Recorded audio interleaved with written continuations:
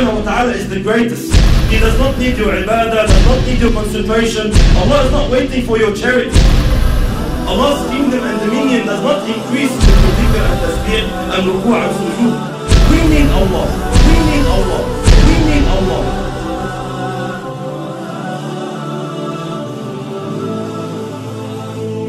The issue of salat, the problem that we are facing with salat is that salat has to do with spirituality. It has to do with feelings that come through your heart and thoughts that come through your mind. A successful Muslim, like Allah subhanahu wa ta'ala says, قَدْ أَفْلَحَ الْمُؤْمِنُونَ الَّذِينَ هُمْ فِي صَلَاتِهِمْ خَاشِعُونَ Verily the believers are successful, they are the ones who have khushu' in their salat. They pray properly, they stand before Allah subhanahu wa ta'ala properly. A crucial step, a crucial cornerstone in achieving this target is to know who you're standing in front of. Who are you speaking to?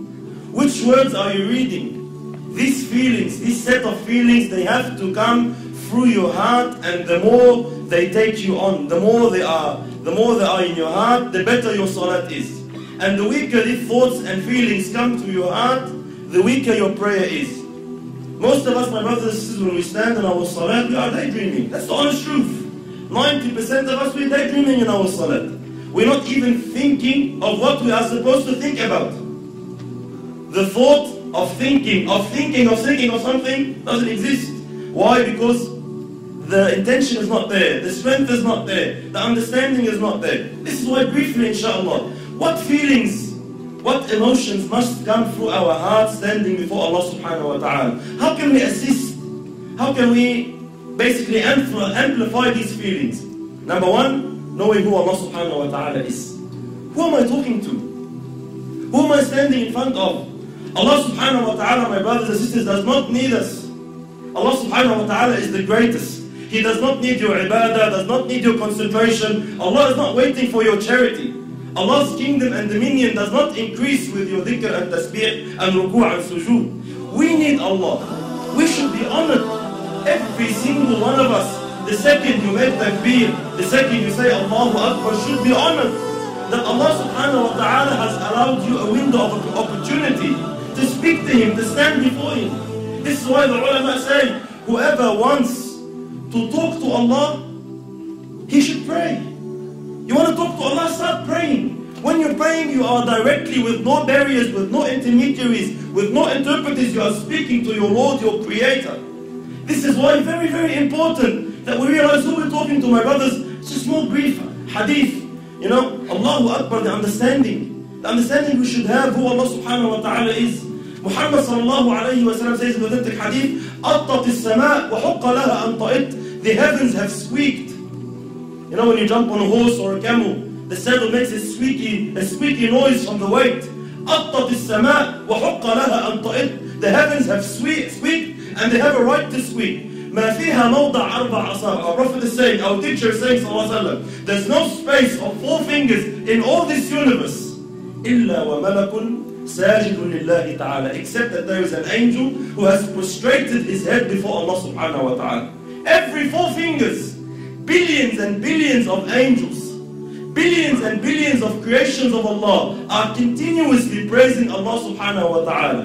Allah subhanahu wa ta'ala says, تُسَبِّحُ لَهُ السَّمَوَاتُ السَّبْعُ The seven heavens and what it contains and what is in there. تسبح له السماوات السبع والأرض and the land ومن فيهن and everyone inside them and everyone within their boundaries. تسبح له السماوات السبع والأرض ومن فيهن وإن من شيء إلا يسبح بحمده ولكن لا تفقهون تسبيحه. Everything is praising Allah. Rock, land, tree, whatever it is, is praising Allah, glorifying Allah. ولكن لا تفقهون تسبيحه إنه كان حليما غفورا. but you don't understand, you don't comprehend the praise, you can't hear the praise. But everything is praising Allah. Allah is not in need of you. Allah is not in need of you standing, you know, feeling obliged like most of us. Why, why do we pray? Majority of us, my brothers, we pray to offload the obligation. Alhamdulillah, I finished my salat. If you come and stand before Allah with this intention, are you unaware that Allah subhanahu wa ta'ala knows exactly what is going through your heart at that stage? When you come and say, you know, I, I just want to get dhuhr over and done with. You know, these feelings that come to us, we don't say them in public. No one comes and says, Allah, and let's pray. No one says that. No one says that. It's man, Allah, get over and done with, khalas dhuhr. We say, let's go pray dhuhr in my heart. Allah, please, let's go. Let's go over and done with. This feeling that I'm praying just to offload the, the burden of salat is not the right feeling you should have. You should be honored, my brothers and sisters, wallahi, in issues of dunya. When we deal in our dunya here, with human beings like us. Wallahi, subhanallah. If you stand in front of someone you're afraid of, like a judge in court, or a bully of some sort in Auburn, or a, you know, uh, a president, a prime minister, an ASIO agent, wherever you stand in front of, what happens to you naturally, without no motivation, without no one to have to give you a seven-step course on how to fear him, naturally speaking, subhanAllah, your heart starts pounding. You feel something. When you stand in front of the judge and he's about to uh, announce the decision whether you'll got 15 years in jail or not, your heart starts pounding naturally. No one needs to give you a course. Why? Because we are aware who this person is. I know who he is. I know what authority he has. I know what he can do. I know what he can decide now. He can wreck my life. And because I know this, naturally the feeling, the emotion comes naturally. The problem is when we deal with Allah, these feelings do not exist. You stand before Allah and you're daydreaming. We all know Allah's, Allah knows what's in your heart.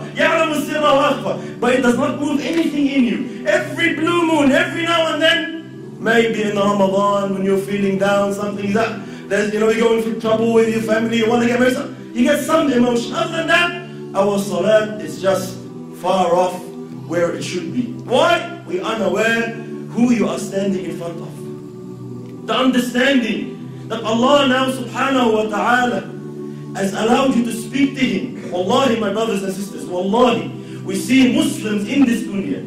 They get to meet a sinner. Let's say an actor or an actress or a star of some sort. And they are so overwhelmed by the fact that they had an opportunity to get his signature or her signature. They're just so overwhelmed.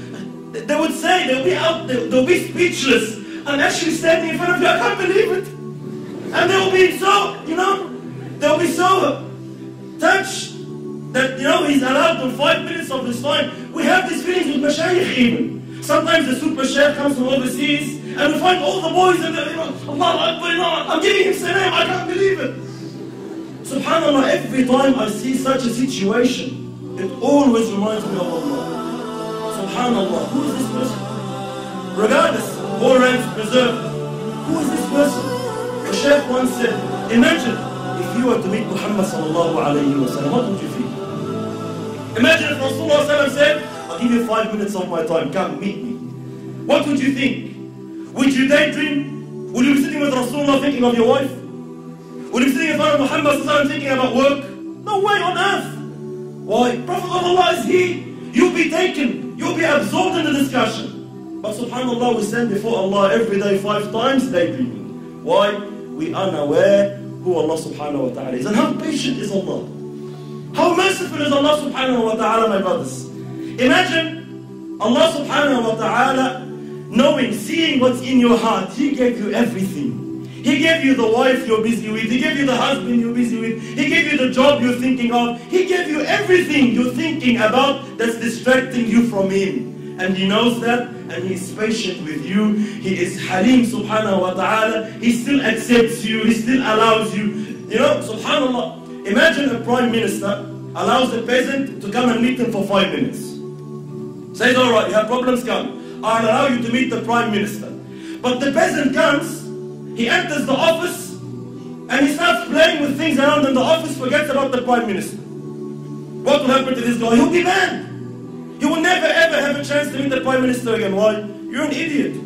We allowed you the chance, we opened the door for you, and you don't wanna you don't wanna present your situation. You don't wanna say anything. You wanna you get busy with something else, why you come? Likewise, imagine Allah subhanahu wa ta'ala, the King of Kings, five times a day allows you an opportunity to speak to him, to complain to him, to beg of him, to ask of him, and you are daydreaming. And Allah subhanahu wa ta'ala still allows you. Allah doesn't ban you. Allah doesn't say, this guy is disrespectful. No, no, Allah is patient. Allah waits subhanahu wa ta'ala. You will understand.